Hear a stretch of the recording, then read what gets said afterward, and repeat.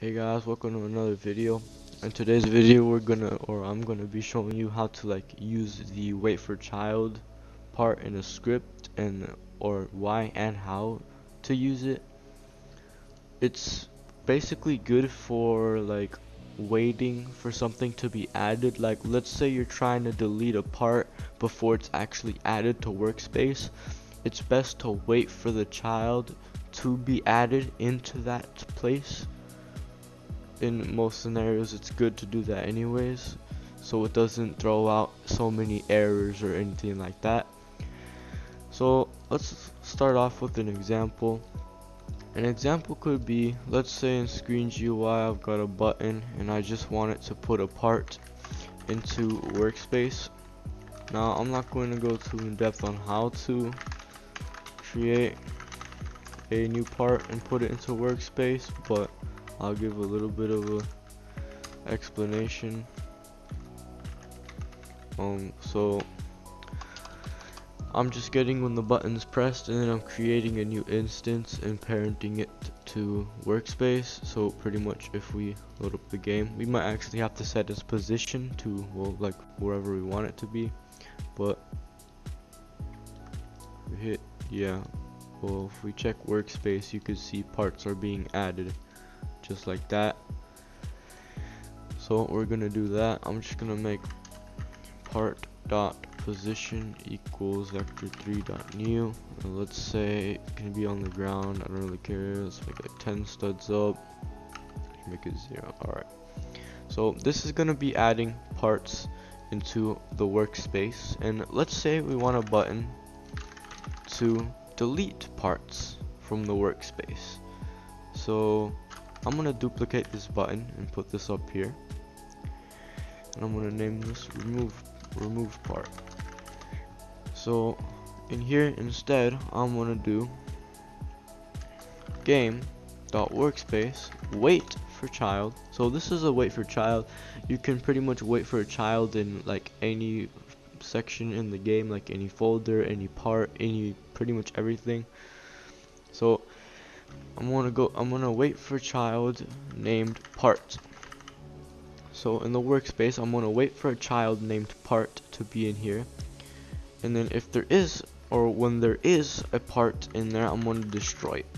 So most people keep um their parameters to just part but some people don't know that there's another parameter to a wait for child which is how long you want it to, to, keep waiting for the child to be added until it just gives up pretty much.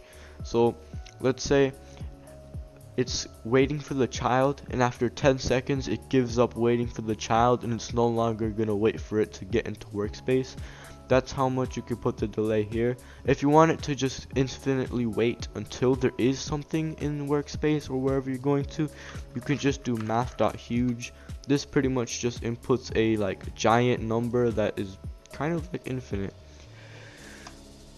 So for this we can we're not going to put any parameter just to showcase an error that we could get. So let's hit play so let's go ahead and load up. So I'm to start off by adding parts. As you can see every time I click this a part spawns.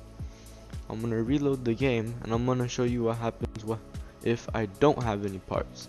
So if I just hit remove part well as you can see nothing happened right? Well there's no part workspace and yeah. But as you can see over here, we have an error in our output. It says infinite yield possible on workspace wait for child part. So the meaning of this error is that basically this just this part that we're looking for doesn't exist. It's nowhere to be found in the location we're trying to find it from. And so we have to figure out a way to like make it there, which in our case is adding a part. As you can see, when I added the part, it removed it because we didn't add a timeout or a delay until it gives up. So if I hit remove part, it removes the part just like that. If I hit remove part and then I add a part, once it waits and notices that the child is finally added into the workspace, it's just going to remove it. So I can hit this a bunch of times and yeah. So remove part, add it in. So if you ever get this error, you just want to make sure you have something in workspace.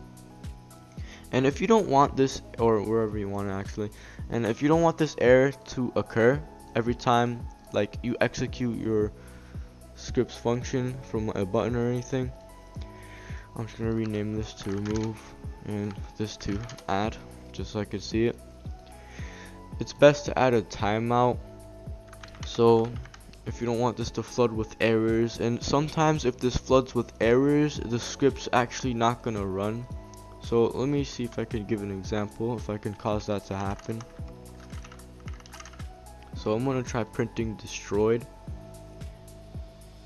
And I'm gonna check the output. And if you didn't know, it, while you're in game, you can check output and stuff. If you're like the owner of the game, you can check stuff and run commands. But if you're like just a regular user, you can see stuff that occur in output by pressing F9 to open the developer console.